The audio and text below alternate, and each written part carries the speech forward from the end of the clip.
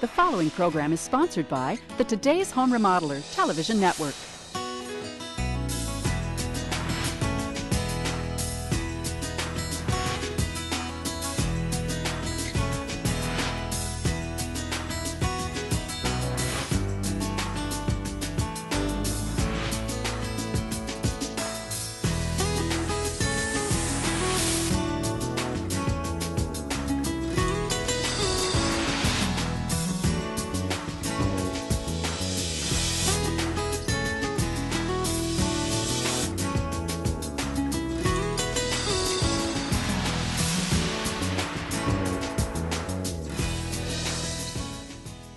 Welcome to today's Home Remodeler. I'm Stuart Keith and on today's show, well, we're walking through the professional window replacement process. We'll begin by meeting with Andy Lindus from Lindus Construction to see why windows in a 15-year-old home are being replaced. Next, we'll review the removal and installation process for a new window. And we'll finish up today's show learning about what to expect when getting a window estimate and how you can save a little money in the process. So we have a lot to cover today, and we'll get started right after these messages.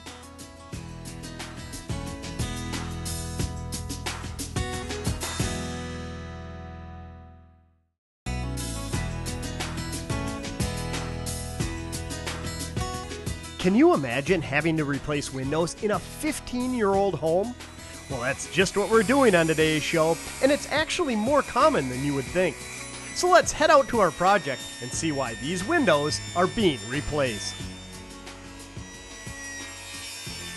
Well, Andy, great day for doing some remodeling. And in this home, it looks like they're replacing some windows. Yeah, you know, a big upgrade not only in the type of window, but for energy efficiency. Going from some slider windows along their whole upstairs to our casement windows, they're going to notice a big difference in the air infiltration. Okay, so what was the situation to lead these homeowners to the replacement process? I mean, this looks to be about a 15 year old home. That doesn't seem very old to be replacing windows. You know, you wouldn't think so. The windows were installed around 2001, 2002. We can actually look at the glass and see the date it was made. And as you can see here, these windows are in rough shape. They weren't operating correctly and they just look terrible. And that's the biggest problem with a lot of these windows is the glass pack that's used. I mean, this is a well-known manufacturer here, but builders they go with the lowest grade possible. I know for sure that this manufacturer makes a great window when you go to the upper line one, but the builder model, that's all you're going to get is 15 years. There are so many homes that have wood windows in them instead of the alternative being vinyl.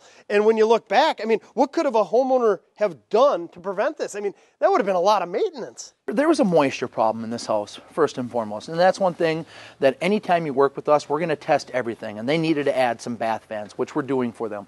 And this being a dual pane glass, I can tell you exactly what's happening here. I guarantee you, in this wintertime, these windows frosted up. And with our windows being triple pane, no matter what the moisture level, it has a really hard time frosting up because the front of the glass, the part that's inside your house, mm-hmm. where the warm air meets it, isn't going to be nearly as cold as like a window like this. It's zero degrees outside. This window is going to frost up for sure. That moisture, once it starts to melt, is going to get into the wood, and it's a perfect spot for mold and mildew to grow. Sure. I mean, I've seen it on lots of different windows, lots of different homes, where in the winter months, it might not actually be frozen, but there is a lot of moisture that accumulates down at the bottom. And yeah. like you said, this is a great case in point that if you have a wood window, chances are if you're not maintaining it meticulously, this is what's going to happen. I get asked all the time, what type of window do you want to put in your house? What type of window would you use? And I, I, have really good relationships with a lot of different manufacturers, and there's a lot of really good windows out there.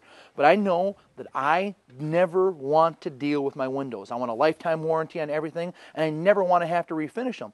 This window probably wouldn't have this mold and mildew had every other year it been resealed. Yeah, but who has the time to do that, to walk around to every window in a house? There might be 15, 20 windows. Some houses have 100 windows in them. Nobody has that type of time or the wherewithal to hire somebody to come in and maintain the windows on an annual or biannual basis. No, I know I definitely don't, and most of my customers, that's why we're coming out. They didn't have the time to maintain these windows, and you can see this is what happens. Okay, and so over here, these are at least one example of what they're putting in here Is this a vinyl window versus the wood that we were looking at? It is, and I'm seeing more and more people choose this. When more and more new construction is choosing vinyl or fiberglass. And like I told you, I meet with window manufacturers all the time. I can install any window that you absolutely want, but I know this: our season guard window, with how this is made, it's vinyl window, fiberglass reinforced. It's got a wood grain interior, so it can match almost any trim. This is the window that you're never going to have to worry about. Lifetime warranty on all moving parts, a lifetime warranty on seal failure, a lifetime finish warranty. Anything that you can think of, this warranty is going to be covered. If something like that were to happen to my window 15 years down the road, it'd be replaced for free. Any of the other manufacturers, you get what, two years on a warranty? That doesn't make any sense to me. Okay, and being that it's a, a vinyl window, they're not going to have to worry about rot. No. Not going to have to worry about the mildew. You mentioned that it's a triple pane window. And so the triple pane really makes all the difference in the world. It does, especially in our market. You know, we want to talk about solar heat gain, yes, but most importantly, when it's zero outside, I can put a laser pointer on my window and that pane of glass is going to read around 60 degrees. You're never going to get that with a dual pane wood window, never. Really? And so when you look at here, if I'm going through the window replacement process, should I pay attention to the National Fenestration Rating Council numbers here, like a 0.3 or a 0.38 when you're talking about visible transmittance? Yes, but people get really confused on the numbers. U value, R value, solar heat gain. The number one thing I want to see in a window, when the window's closed, how much air is going to leak through this? National average it has to get to for residential is 0.3, and that's where almost all of the manufacturers get to talk about how much air can get in the house and talk about warranties, warranties, warranties, warranties. Yep, that's for sure. And you know, there's lots of different features, lots of different options on windows. And what I like to tell people is do your homework, be an educated consumer, and that's to ultimately lead you to the right contractor who's going to be there in the long run and who has all the right products to offer you. And ultimately, you can make the right choice for your situation. Yeah, you know, a lot of people have good windows. It's not just about the window. There's a lot of things that goes into our installation process, which I think is really what sets us apart. And you can have the best product in the world, but as we mentioned on shows previously, best products are only good if they're installed properly. Yeah. And your guys are second to none. So let's go see what the guys are up to. As they can see, they're well on their way to installing this last window. Sounds good.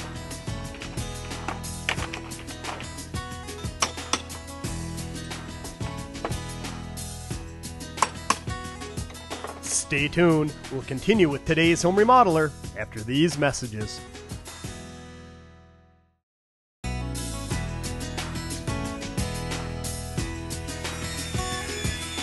Replacing windows can look pretty easy when you're watching a how to video or a TV show with professionals who do it every day. But in reality, there are a lot of special tools and skills needed to do the job correctly. So let's meet up with Andy Lindus from Lindus Construction to see how a window is properly replaced.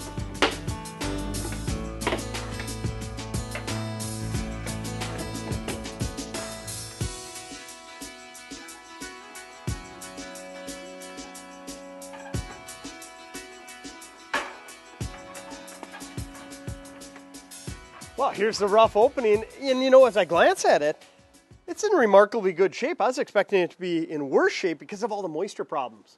Yeah, you know, can you imagine what they'd have waited for two, three more years and that rot would have gotten from the window frame actually into the rough opening? How much more work and money that would have cost them? That's why when you see telltale signs like that mold on the window, that's the time to act. Don't wait for the window to be falling apart because when that happens, usually water's in the frame. Do you run into that very often where it's actually rotting out the frame? You know, I- I'd probably say about half the amount of time we're fixing some of the wood inside the rough opening or some of the sheathing on the outside of the wall.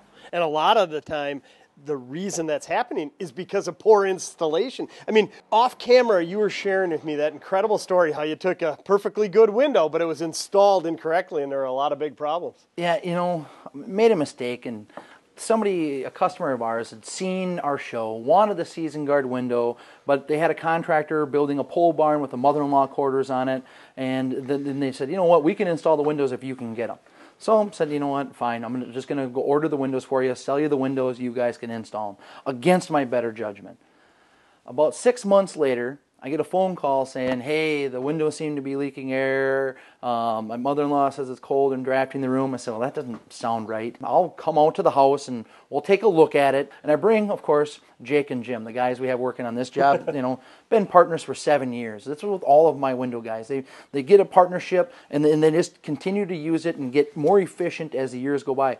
In a half a day, but again, six hours we're going to spend there and go through from window to window to window. None of them were foamed properly, they weren't shimmed properly, they weren't set in the holes properly. So we had to take all of the extension jambs off, all of the trim off, and just try to reset the windows, get the reveals right, and make things much, much more comfortable for my friend's mother-in-law. So again, like we always say, you can have the best product in the world, but if it's not installed properly, it's not going to perform properly. Yeah, and more than likely, it's going to cost you more money down the road. Okay, well, let's get into the installation process for this particular window. And I know the first thing I saw him do was uh, set all the scaffolding up, but then actually cut out the existing window. We want to be as gentle as possible and try not to wreck anything that we aren't going to be replacing. This window going from a double pane glass to a triple pane glass, going from a slider to a casement, you're going to have to make sure that everything's structurally sound. So we wanted to go with our brick mold application, which is really going to strengthen that window. These triple pane windows, as you know, are going to be heavy. They weigh a lot more than what was in here. So as that window's open, you want to make sure nothing can get tweaked or anything. So we cut everything out. We actually cut the siding back and we do can do this on stucco, steel, the LP, any of the cement boards, any type of siding outside of brick. We're going to do this and get a nice clean installation. Yeah, I like seeing some of the tricks of the trade there. You used a skill saw to cut around the siding, but then used a multi-tool to cut the nail fin of the old window that was in there. Absolutely. You know, the tools of the trade is what makes this go as fast as we possibly can, but still maintaining first time quality. Okay, and you know, the window came out relatively easy. Mm-hmm. And then I noticed that they were very meticulous in checking the substrate that they're going to be installing the new window on. And if there is any rotten wood or anything that's suspect, of course we're going to replace it. And of course, guys like us are going to have the materials to do that today. We're not going to have to stop. We're not going to have to run to a lumber yard. There's going to be no extra cost in running anywhere or extra time in running anywhere. We're going to be able to do it and do it now. Luckily, we don't have to do much here except for clean it up. We had to cut back the sheetrock a little bit, take the shop back to it, get everything nice and clean as possible so we can start to install our butyl tape. And what we're putting on here today is the barricade tape, Ultra Flash. It's like an ice and water shield. We're going to come down over the sheathing a little bit, do the whole sill, come up come up the sides and make sure should water ever get behind our window, get behind our trim, or wind driven rain, should it fail somewhere, it's going to be able to come back out over the top of the actual sheathing. So everything is meant to get away from the house. So even if it gets in here, it's not going to rot it out. Well, let me tell you, there's no substitute for attention to detail because that leads to ultimate peace of mind and assurance for the homeowner that they're getting the best installation possible after they made the proper selection of getting the best window possible. So let's get out of their way, let them get back at it, and you and I'll stop back once it's installed. Perfect.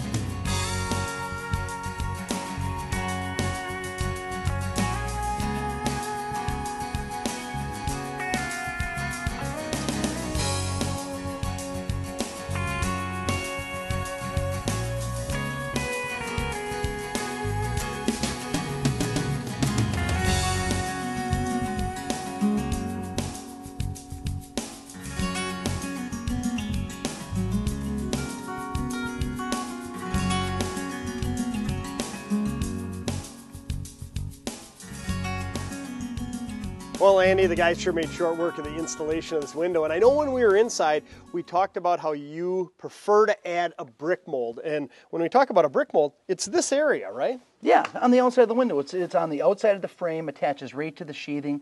I think it actually gives a look, a more aesthetically pleasing look.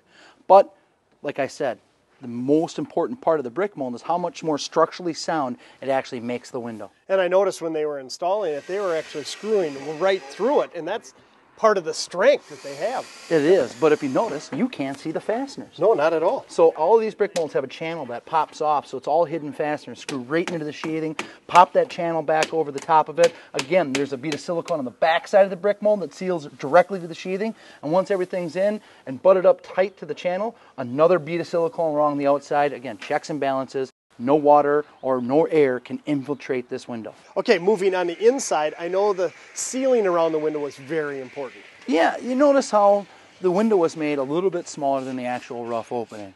Now once that window is set, we actually take our extension jambs and move them in a little bit more on the actual window frame. So we give ourselves a nice space, even space, all the way around our window that's just big enough to fit our foam gun and we can foam nice and slow all the way out to the extension jamb and then cover that all up with our casing. So you're getting insulation, you're getting air infiltration, and a peace of mind. Sure, and that foam is special foam that's a one-to-one expansion, so you don't have to worry about it pushing and bowing the window, which could ultimately affect the operation if it's the wrong foam. Yeah, we see that on a regular basis, especially on double hung windows where they do the foam and now you can only move the window up sure. a little bit because it's bulged over. It's not something that we we ever see with my guys. Sure. Okay, and then finally, from an aesthetic standpoint, what a great job matching up the trim, the color of the wood. I mean, everything just looks authentic. Yeah, on this particular one, they opted for us to pre-finish the materials. They wanted to see what it looked like, us pre-finishing. So it's our finish shop did a color match to the existing wood grain, blends in perfectly, and now a completely installed window, completely finished. They're going to come home, and I know they're going to be very, very happy. Especially being that it's only 15 years old. I know. You would never think that you'd have to replace your windows after only 15 years, but unfortunately, that's becoming more and more common, especially up here in the upper Midwest, that's for sure. And hopefully, these people will never have to worry about it as long as they're in this house. I'm going to be around for a long time, and I know that we will never get a call that these windows are failing. Stick around. We'll see how you can save a little money when replacing windows next, here on today's Home Remodeler.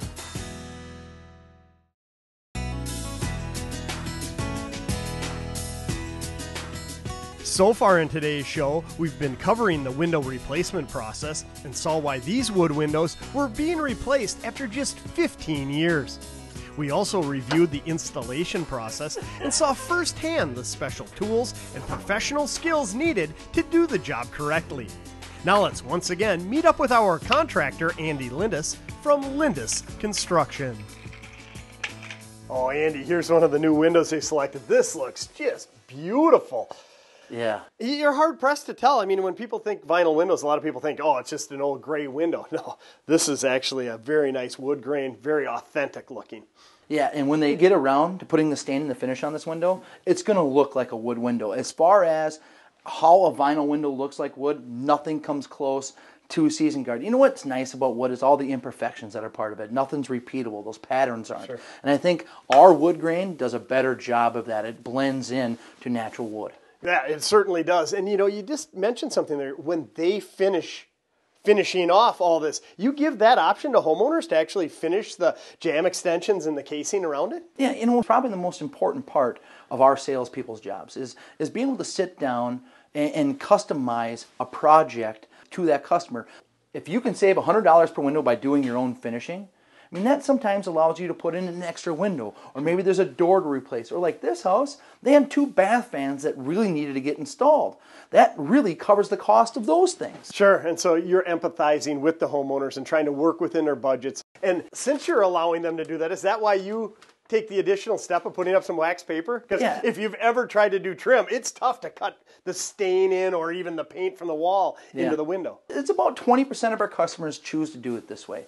If they want us to pre finish it, again, I have a guy that specializes just in putting stain and finishing on windows. But we're going to allow it. We're going to come in, put the bare wood. We're going to put this nice wax paper, try to make the process as easy as possible for them where they can come in right away, refinish it, and give them a nice finished window. Now, you know, I want to get into what to expect when your professional contractor arrives on site. And we always talk about measuring, how important measuring is. But really, what are you measuring when you're walking around a house measuring rough openings? Well, when we first get to the house, we're gonna we're gonna take a walk around with you. We're gonna talk about every aspect of the house. We're gonna want to look at the house as a whole. Look at the building sciences between why this house does what it does. We're gonna want to look at insulation, ventilation, air infiltration, the type of mechanicals you have in your house, not just your windows. I know it sounds weird that a guy looking at windows is gonna want to look at all that, but when you can see how the whole house performs, you can really make this house better.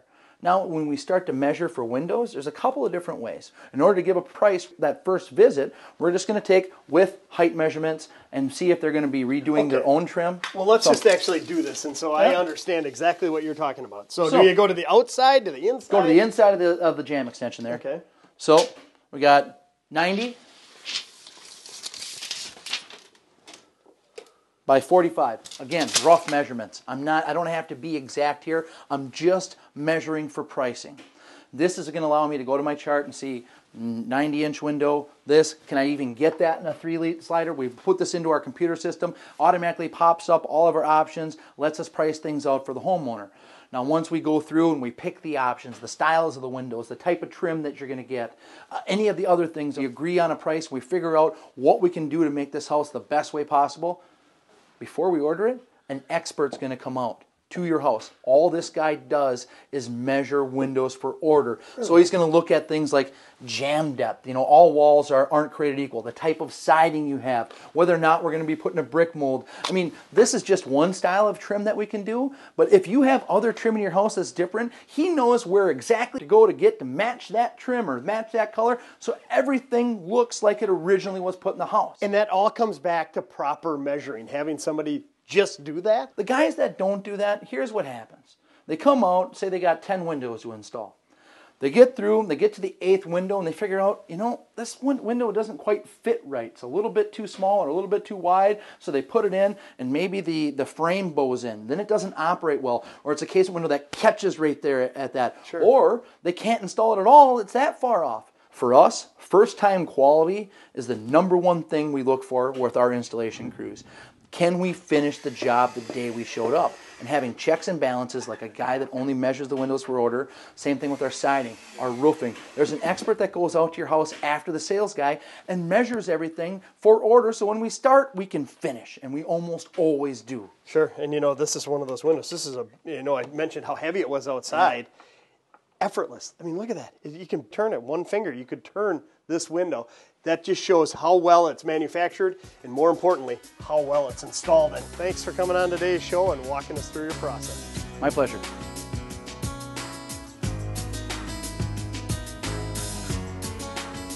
Well, we're all out of time for this week's show. Hope you enjoyed it. We'll see you again next time on today's Home Remodeler.